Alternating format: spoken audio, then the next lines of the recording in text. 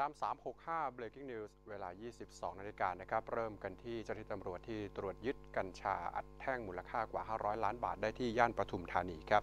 โดยที่ตำรวจภูธรภาคหนึ่งเข้าตรวจค้นโกดังไม่มีเลขที่ที่ตั้งอยู่เรียบถนนมอเตอร์เวย์ ในพื้นที่หมู่ 3 ตำบลบึงคำพร้อย อำเภอลำลูกกา จังหวัดปทุมธานี เมื่อช่วงเย็นที่ผ่านมา และสามารถตรวจยึดกัญชาอัดแท่งน้ำหนักราว 5 ตัน คิดเป็นมูลค่าประมาณ 500 ล้านบาท เบื้องต้นยังไม่ทราบว่าผู้ใดเป็นเจ้าของครับ โดยทราบเพียงว่าผู้เช่าโกดังคือนายสิริศักดิ์บุญสิริอายุ 45 ปี เป็นชาวอำเภอลำลูกกา จังหวัดปทุมธานี โดยที่ขณะนี้นะครับเจ้าหน้าที่ได้ยึดกัญชาทั้งหมดไว้เป็นของกลางและจะเร่งสืบสวนหาตัวผู้เป็นเจ้าของเพื่อนำตัวมาดำเนินคดีอย่างเร่งด่วนต่อไปครับเกิดฝนฟ้าขนองพัดกระหน่ำอย่างหนักนะครับในหลายพื้นที่ของจังหวัดเชียงราย โดยเฉพาะพื้นที่อำเภอเมือง ซึ่งมีพายุฝนลมกระโชกแรง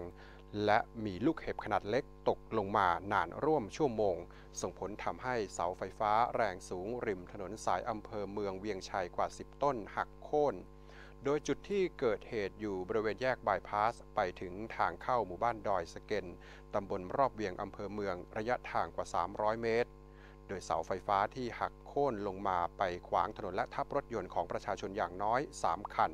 และทำให้ไฟฟ้าในเขตเทศบาลนครเชียงรายกว่า 10 ชุมชน และพื้นที่อำเภอเวียงชัยดับนานกว่า 2 ชั่วโมงเช่นเดียวกับที่จังหวัดยะโสธรนะครับในช่วงบ่ายที่ผ่านมาที่เกิดฝนตกลงมาอย่างหนักติดต่อกันนานกว่า 1 ชั่วโมง เนื่องจากได้รับอิทธิพลจากความกดอากาศสูงที่แผ่ปกคลุมภาคตะวันออกเฉียงเหนือ ฝนที่ตกลงมาทำให้เกิดน้ำท่วมขังบริเวณถนนแจ้งสนิทฝั่งขาออกก่อนถึงสี่แยกบายพาส ตู้ยามตำรวจทางหลวง ระดับน้ำท่วมสูงประมาณ 30 เซนติเมตร เป็นระยะทางยาวกว่า 1 กิโลเมตร โดยที่ทางจังหวัดได้แจ้งเตือนให้ประชาชนระวังอันตรายจากพายุลมแรงที่จะเกิดขึ้นต่อเนื่องในวันพรุ่งนี้ด้วยครับ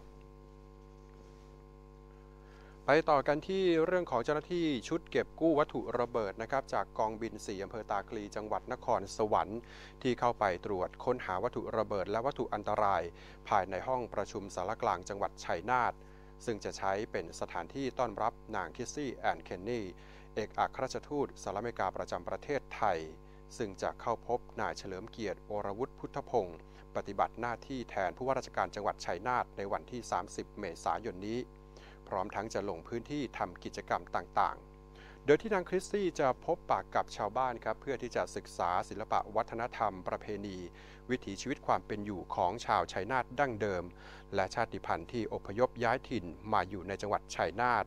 รวมทั้งจะเข้าชมพระคัมภีร์ใบลานอายุนับร้อยปีของชาวชุมชนลาวครั่ง ที่บ้านกุดจอกในอำเภอหนองมะโมงด้วย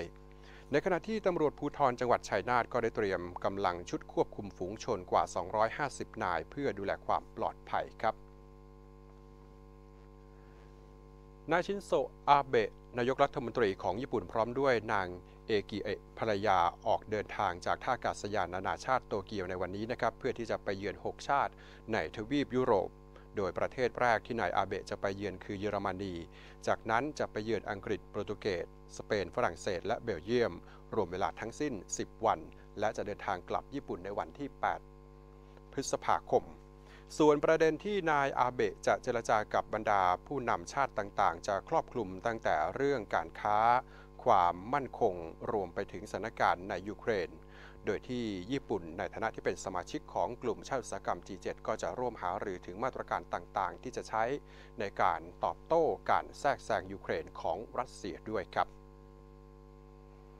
กลับมาติดตามข่าวกับทีมข่าว 365 Post News อีกครั้งในวันพรุ่งนี้ครับ